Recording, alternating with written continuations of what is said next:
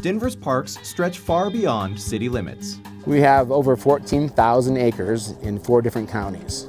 And the reason we own these is because our forefathers back in 1913 had the foresight to understand sort of how beautiful the land was up here.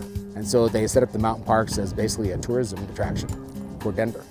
And our mountain parks are home to some special residents.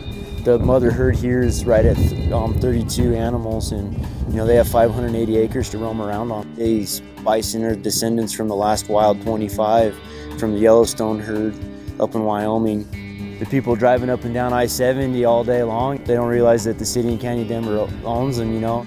Uh, in like 1914, uh, they were at the zoo. They decided that they were better out here than in an enclosed area at the zoo. Now 17, 1700. We're auctioning off 34 animals. The blue tags are all from Genesee herd, and the orange tags are all from the Daniels herd. You know, orange and blue Denver Broncos. So Denver-owned herds. Every year we take two females from Daniels and bring them up here, and two females from Genesee will go down to Daniels. That's how we keep replenishing our herds. The rest we have to sell off. We have to run a certain number of head, you know, so we don't overgraze the pastures and, and you know, cause any damage to the land. This day in particular, I mean, how could you beat this? You get to play cowboy for a day.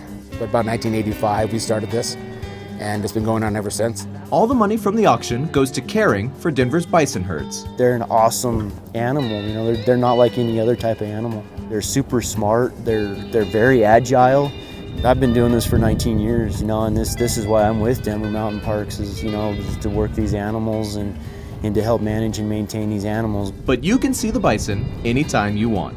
We're trying to get people off the highways and get them into the park and let them kind of go on a, you know, scavenger hunt, go find the bison and see where they're at within the park.